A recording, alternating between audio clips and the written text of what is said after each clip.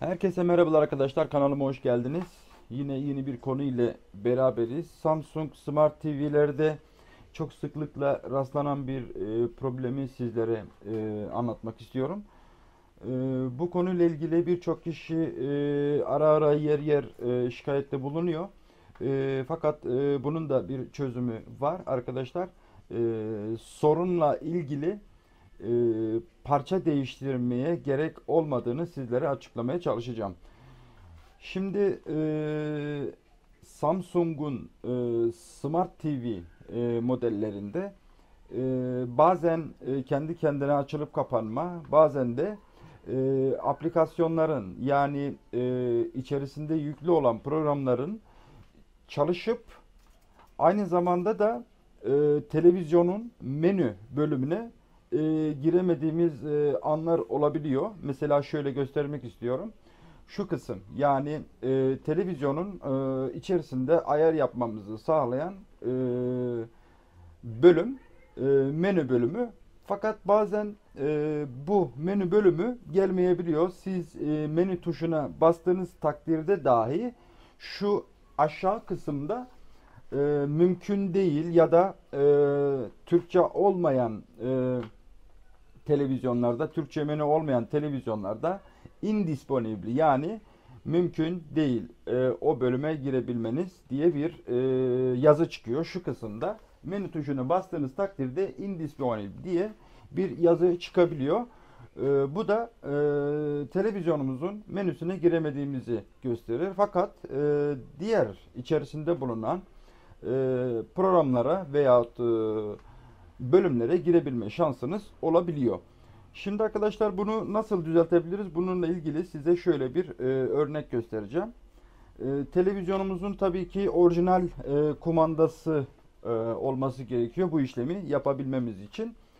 E, satın almanıza gerek yok. İlla ki komşularınızda veyahut e, yakın herhangi bir dostunuzda e, televizyonunuzun e, orijinal kumandası e, bulunabilir. E, bunun için satın almanıza gerek yok.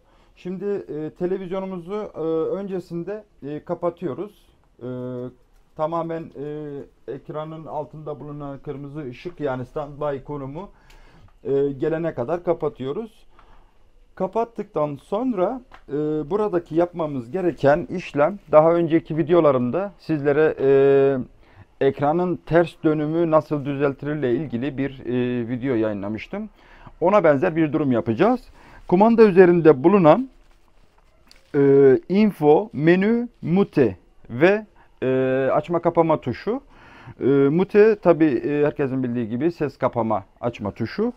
Şimdi sırasıyla e, çok fazla arada boşluk bırakmadan info, menü, mute ve açma tuşu. Arkadaşlar buna basıyoruz ve bekliyoruz.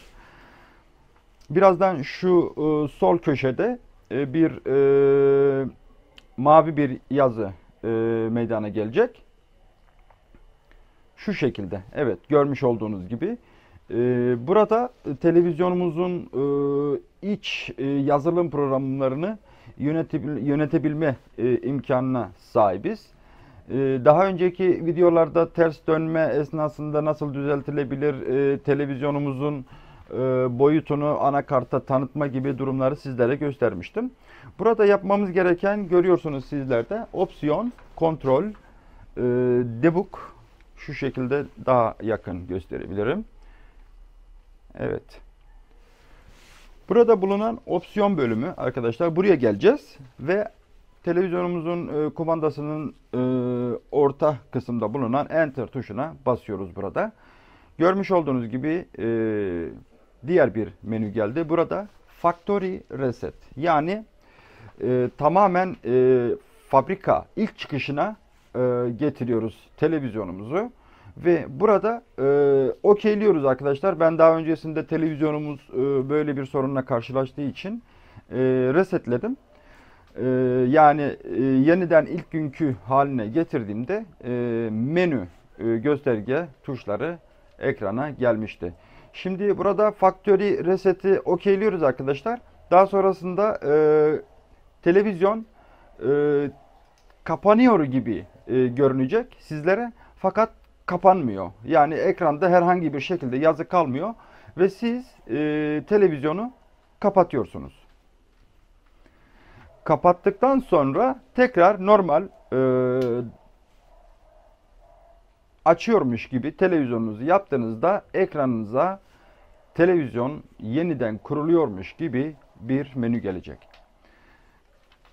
Yeniden televizyonunuzu programlayıp e, Wi-Fi veya e, internet girişi herhangi bir şekilde e, bazı yapmanız gereken ayarlar meydana çıkacak ve sizler de bunu televizyonu yeniden kuruyormuş gibi tekrar e, kuracaksınız.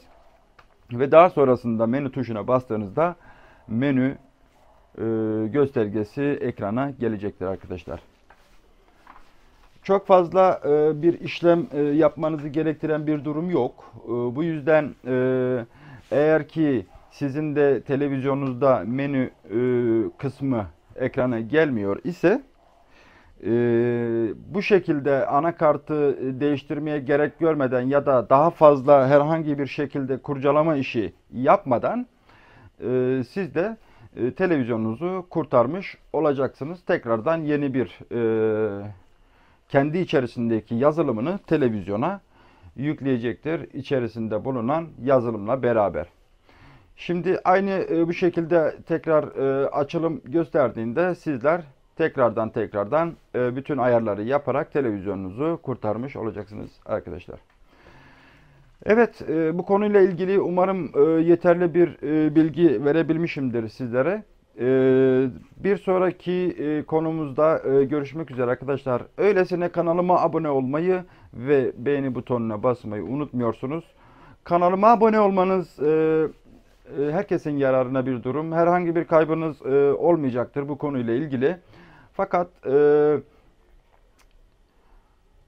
bu tarz videoların sizlere gelim, gelişimiyle ilgili e, katkıda bulunacaktır diyebilirim. Öylesine kanalıma abone olmayı unutmuyorsunuz. Herhangi bir sorunuz olur ise eğer yorumlar kısmında bana ulaşabilirsiniz.